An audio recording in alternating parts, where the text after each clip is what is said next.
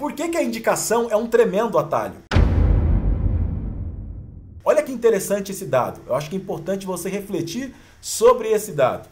Para 92% dos consumidores, eles afirmam que confiam totalmente na indicação de um amigo ou familiar para efetuar uma compra. Ou seja, 92% das pessoas confiam totalmente em um amigo e um familiar quando eles indicam.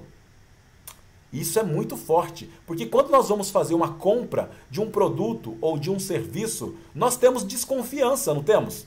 A gente fica com o pé atrás. Peraí, será que essa marca é boa? Será que eles são bons mesmo? Será que existe de verdade mesmo? A gente fica com essa interrogação. Dessa forma, quando alguém indica, essa confiança, que é essa desconfiança, na verdade, ela foi quebrada, porque um amigo ou um familiar nosso indicou.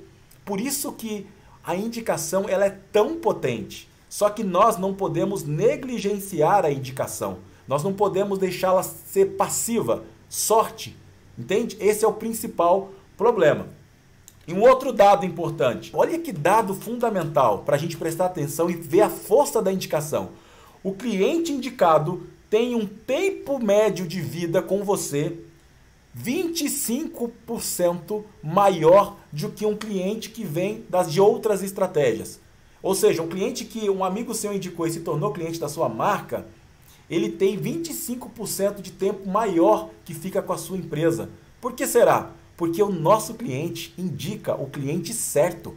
Um cliente encantado indica o cliente idolatrado.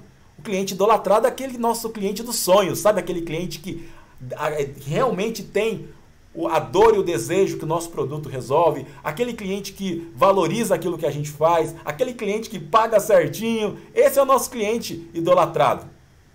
E o nosso cliente é, conhece como ninguém o nosso produto e serviço, por isso que ele indica o cliente idolatrado. E os dados mostram isso. Mostram que para 25% é a chance maior desse cliente permanecer com você.